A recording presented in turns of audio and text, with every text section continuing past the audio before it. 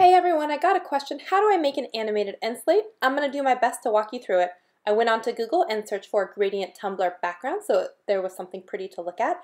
Then under the tools section, I went ahead and selected size as large and under usage rights, you want to select ones that you're able to modify and reuse. Once the results popped up, I went ahead and clicked on this first green one that I thought was cute. Next, you want to make sure that you view the image full size and then save that image somewhere on your computer that you are going to remember. I went ahead and just named mine background. Next, you just want to open an image editor such as PicMonkey or Photoshop and open up your image and trim it to the size of 1920 by 1080. This measurement is important because you'll see that I actually made a mistake by choosing 1280 by 720. I'm scaling the photo larger so I can see more of the gradient background on the image. Then when I'm happy with my crop, I'm going to go ahead and save this image to my computer. Next, we're going to open up Keynote and select a brand new project and then choose theme of wide. Go ahead and erase everything that's already there and then drag in the photo that you just saved. This is where you'll see I ran into my problem of having the dimensions of 1280 by 720 instead of the 1920 by 1080. So save yourself the hassle of having to resize and center your image like me. Once you have your background image set up, go ahead and start dragging in your images for your social media icons. I included Twitter, Facebook, and Instagram.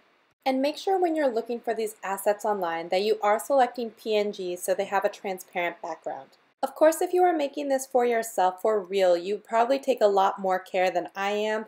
I'm probably not lining things up exactly correctly. You would want to make sure that you do that. Okay, next up, we're going to go ahead and add some text. You're going to want to go ahead and put in your username. It's up to you if you want to put the just the at sign or if you want to put the entire address, totally whatever you want to do. And I decided to change the font color to white. I know it sounds like a simple tip, but please make sure that you spell all of your own usernames correctly, okay? I'm just adding a little phrase that says watch more videos because I plan to put the videos beneath it. I also want to mention that everything I'm doing in the layout is just a guideline. If you want to do things on the right or left hand side, you do exactly whatever you want to. It's totally fine. Now with the text selected, we're going to hit the Animate and the Add an Effect button. Add an effect from the pre-selected list, and you can preview the results of what it will look like. Once you find an effect you like, you can click the properties to change the things such as duration or bounces or jiggles. I've chosen spin. The next thing I'm going to do is add effects the same way that we just did to the one with text to all of the social media icons. For Twitter, I've chosen blink. For Instagram, I've chosen jiggle.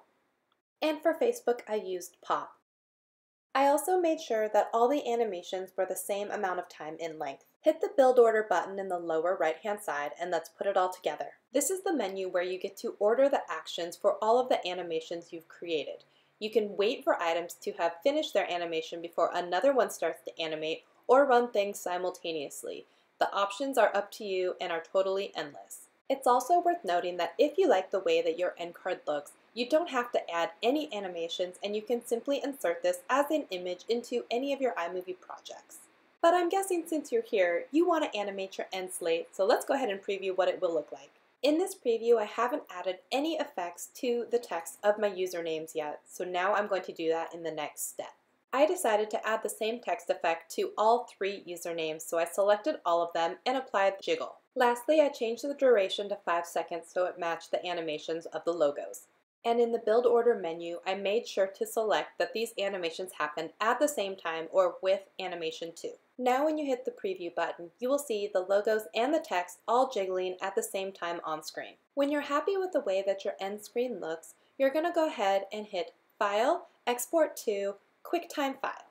This is going to create a movie file that you can insert into any of your iMovie or Final Cut Pro projects you're going to select a self-playing file. On format, make sure you select 1080p so that you have the highest resolution possible for your file. You'll just need to name your movie file and decide where to save it, and then sit back and watch it do its thing. Here's what my finished project looks like. All I have to do now is add it as a movie file in the end of any of my iMovie or Final Cut Pro projects. Moving on to YouTube, you're going to upload your file like you normally do and wait for it to finish uploading and processing so that you can edit it. Once your video has successfully processed, find it under Video Manager and then under Edit, select the End Screen and Annotations menu. YouTube makes it super simple to use a template they already have with a subscribe button and two videos, which is the design I like, but feel free to choose whatever you like. The floating head is actually the subscribe button, and the two boxes you can modify to whatever video that you want. It could be their latest uploads, it could be a playlist, it could be to another channel,